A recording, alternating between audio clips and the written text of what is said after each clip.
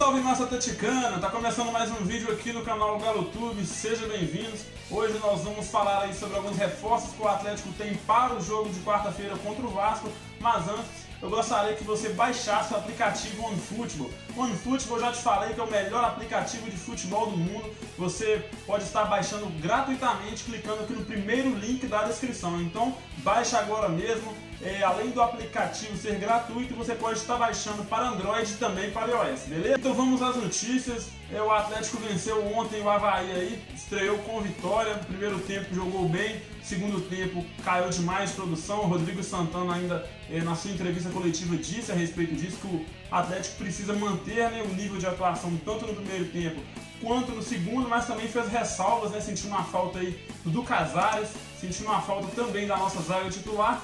E uma das notícias de hoje, pessoal, é que Hever e Igor Rabelo já estão liberados para voltar aí é, ao time do Atlético. Treinaram normalmente aí no treino de hoje, vão treinar no treino de amanhã pela manhã antes de embarcar para o Rio de Janeiro, né? É, sentimos falta da nossa zaga é, titular, apesar que também não vinham em uma boa fase, mas já que o Rodrigo Santana está tentando fazer alguns ajustes no time. É bom já ver esse time aí com a zaga titular e provavelmente na próxima semana é a volta do Casares. Casares ainda não está liberado.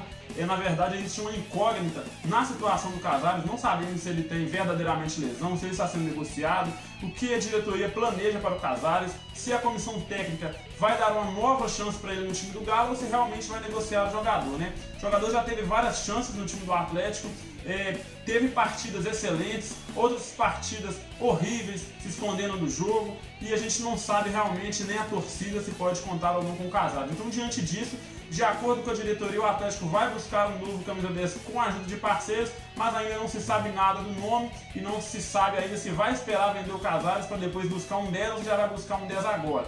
A diretoria está se movimentando em busca de reforços porque precisamos demais de reforços.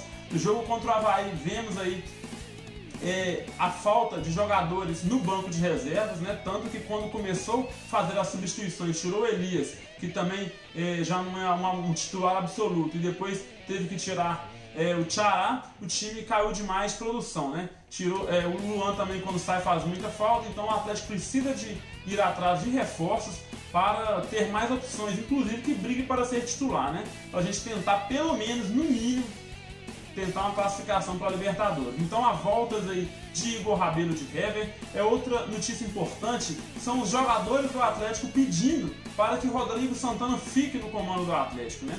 É, muitos aí é, defendem também essa mesma tese e eu gostaria de saber a sua opinião. Será que é uma boa, num momento de crise, num momento de eliminações, manter o Rodrigo Santana é, interino aí, efetivar ele? Ou a gente é, vai dando sequência para ele até a parada da Copa, ver o trabalho dele e decide durante essa parada da Copa. Qual é a sua opinião? A minha opinião é que pode até ser que o Rodrigo Santana faça um bom trabalho, possa até ser que o Rodrigo Santana é, venha dar conta né, do recado, mas o que não pode esses jogadores que estão aí no nosso elenco hoje é usar isso de bengala, usar isso de desculpa para mais uma vez não serem cobrados, né? Porque a gente sabe que esses treinadores mais novos aí não tem aquela cancha, não tem é, aquela moral de estar cobrando os jogadores, de estar ali tocando na ferida, é, colocando medalhão no banco. Então, às vezes, eu não sei se realmente o treinamento do Rodrigo Santana tem agradado os jogadores ou se é uma desculpa para não trazer ninguém cascudo que vai cobrar eles para eles saírem da zona de conforto. Então fica essa incógnita. E a sua opinião é muito importante para a gente estar tá debatendo esse assunto. Eu, é, eu acho que a diretoria já levou praticamente quatro foras aí, quatro não no mercado, inclusive cogitou trazer nomes do mercado sul-americano é, vemos aí nomes sendo especulados, Osório sendo especulado, Jorge Jesus é, foi especulado, porém já está descartado. O próprio treinador é, disse que vai tentar uma vaga em algum clube da Europa. Temos aí o BKSS, né? Ultimamente foi oferecido o Ariel Holan, né? Que foi treinador do Independiente, é, inclusive aquele time lá que eliminou é, o Flamengo é, naquela, naquela final era treinado pelo Ariel Holan. Mas verdade é que o Atlético precisa de um rumo. E o rumo pode ser que já vem aí com mais uma vitória sobre o Vasco na quarta-feira. É, vamos saber aí é, amanhã provavelmente o time que vai entrar em campo, se o treinador não fazer mistério, se a comissão técnica não querer esconder o time que pega o Vasco. Vasco vem de derrota por 4 a 1 para o Atlético Paranaense lá em Curitiba.